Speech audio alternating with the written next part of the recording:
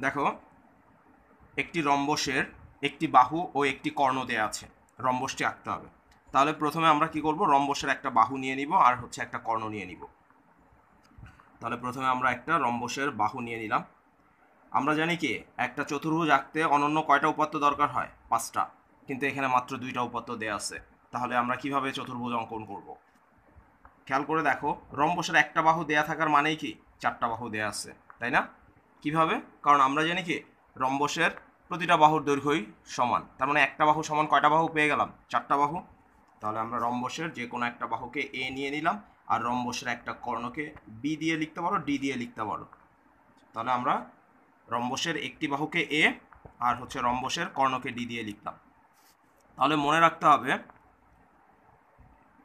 যখনই হচ্ছে কর্ণ দেয়া থাকবে চতুর্ভুজের বেলায়, আমরা হচ্ছে কর্ণ নিয়েই কাজ করব। তাহলে চতুর্ভুজে যখন কর্ণ দেয়া থাকবে, আমরা চেষ্টা করব কি নিয়ে কাজ করতে? কর্ণ নিয়ে। তাহলে আমরা প্রথমে যে কোনো একটা রশ্মি নিয়ে নিই। যে কোনো একটা রশ্মি নিলাম। তাহলে এই রশ্মিটাকে আমরা নিয়ে নিলাম হচ্ছে যে কোনো একটা রশ্মি বি ই নিয়ে নিলাম। যে কোনো একটা রশ্মি কি নিলাম?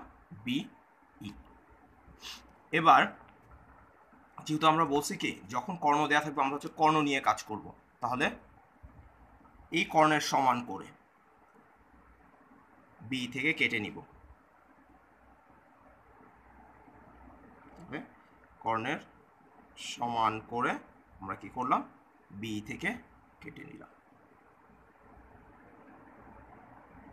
তাহলে আমরা ধরে নিচ্ছি, আমরা বিডি অংশ কেটে নিচ্ছি। তাহলে আমরা কি বলব?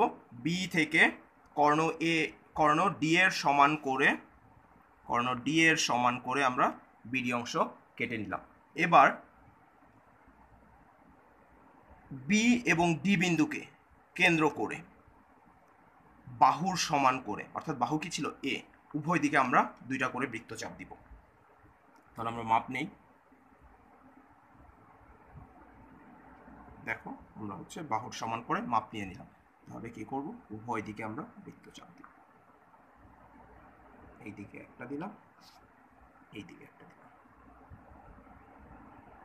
এবার ডিতে চলে যাব, ঠিক একইভাবে উভয় দিকে দুইটা বৃত্তচাপ দিব। তাহলে বৃত্তচাপ দ্বয় মনে করতেছি এই দিকে এ বিন্দুতে ছেদ করছে, আর বৃত্তচাপ দ্বয় এইদিকে আমরা মনে করছি সি বিন্দুতে ছেদ করছে। তাহলে দেখো, আমাদের চতুর্ভুজ অঙ্কনের জন্য চারটা শীর্ষবিন্দু দরকার। আমাদের আগে দুইটা শীর্ষবিন্দু ছিল বি আর ডি এখন নতুন করে আরও দুইটা শীর্ষবিন্দু পাইলাম এ আর সি তাহলে এগুলো যোগ করে দিলেই আমাদের চতুর্ভুজ হয়ে যাবে।